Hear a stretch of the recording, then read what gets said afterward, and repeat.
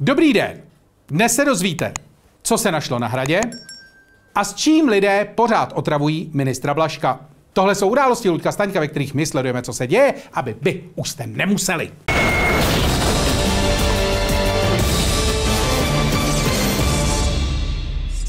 Je 22.3. a hnutí stan po devíti měsících vyloučilo Petra Hlubučka. A pak, že se v téhle zemi nic nepohne. Pokud probíhající vyšetřování Vratislava Mináře skutečně odhalí nějaké trestné činy, můžeme si být jistí, že půjde sedět. Akorát předtím vyjasné slunce a planeta se stane neobyvatelnou. Takže pojďme radši na krátký přehled zpráv. Zákon proti dezinformacím zřejmě nevznikne, stačí bojovat pravdou. Míní Benda z ODS. Ano, stačí bojovat pravdou. Co naplat, že žijeme v době platform s algoritmicky posilovaným šířením, kde se každá bombastická lež rozlétne do světa tisíckrát rychleji než jakýkoliv pokus ji fakt čekovat. Až ta lež přijde, tak Marek Benda na ní bude čekat. Vyzbrojen cigaretou a historkami z 90. let. Nemůžu se dočkat. V Praze vzniká první banka stolice v Česku. Fekální dárci musí splnit náročné podmínky. Tak tohle je zcela nepravdivý titulek jakoby pocházel od CNN Prima News. V Česku už totiž jedna banka stolice funguje od roku 2020. Jmenuje se CNN Prima News. Hm. Už žádné smlouvy pro kamarády. Po letech máme data o zubařích, říká Šmucler. Ano, rozezněte trumpety, vyvěste vlajky. Roman Šmucler se vyjadřuje k tomu, čemu skutečně rozumí. To tu nebylo minimálně tři roky. A já z toho mám takovou radost, že si ten článek hned celý přečtu. Navzdory tomu, že jsou mi data o zubařích úplně jedno. A teď si položme otázku, kterou jste si určitě posledních pár dní nekladli. Co právě teď asi dělá Miloš Zeman? Že vás to nezajímá?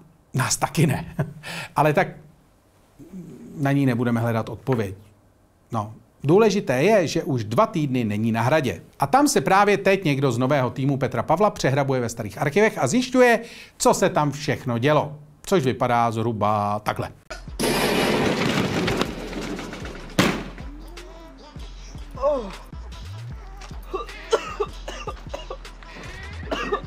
Ano, z desetileté éry Miloše Semana vyplouvají na povrch naprosto neuvěřitelné příběhy.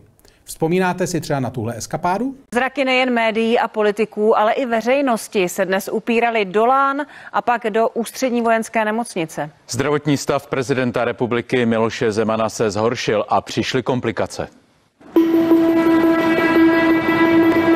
Pojďme teď jenom na skok živě do Lán. Je tam náš kolega Šimon Pilek. Prezident Zeman tehdy málem zemřel a politici zcela odříznutí od informací tehdy začali řešit, že by mu dočasně dočasně, dočasně odebrali pravomoce.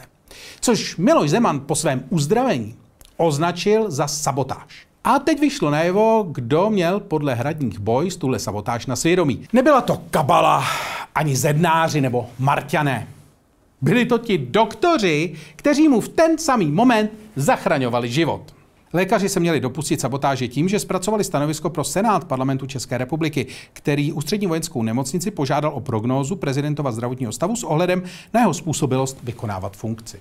No, vděčnost je nemoc, kterou trpí psy, řekl kdysi další velký státník a alkoholik Josef Vysarionovič Stalin.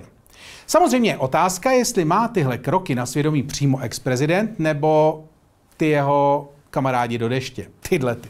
A mimochodem, v oceánu plném hoven, které tvoří jejich svět, se taky daří jeden zámořský objev za druhým. Odtajněno, minář hostil v Lánech zdarma ministry, lékaře i známé z Osvětiman. No co? Tak si prostě vrátě a přivez pár kamarádů a společně postříleli pár jelenů a vypili trochu zelený. Co na tom? No, ukazuje se, že to celé bylo tak trošku protizákonné. Že se něco takového skutečně děje, upozornili až kontroloři nejvyššího kontrolního úřadu, kteří na Minářovi pozvánky k bezpoplatkovým lovům přišli v letech 2019 až 2021.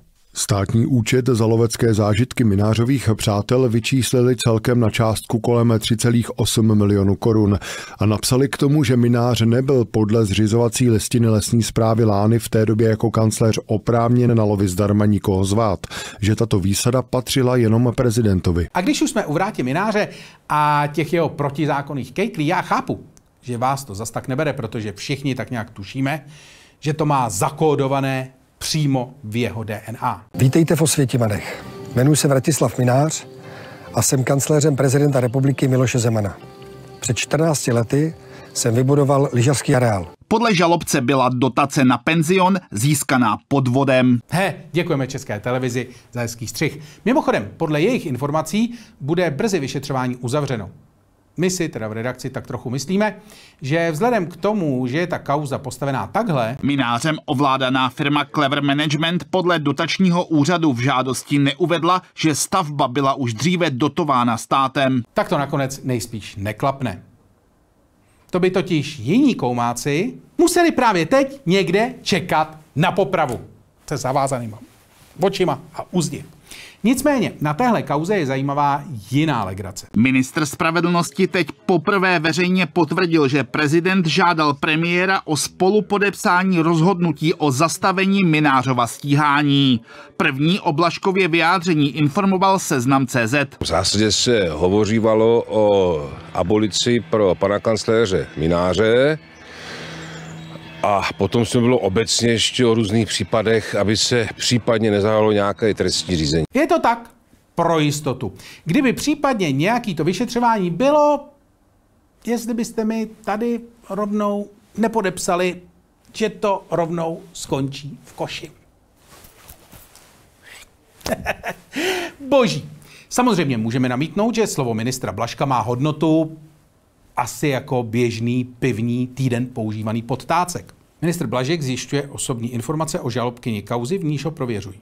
Ale já bych se vůbec nedivil, kdyby brzy vyšlo najevo, že právě s těmi podtácky se na hradě v posledních deseti letech platilo. A to je všechno, mějte se a tady nás můžete odebírat a tady můžete sledovat naše další videa a taky nám tady můžete uh, hodit nějakou kačku, kdyby se vám chtělo, protože já mám hlad.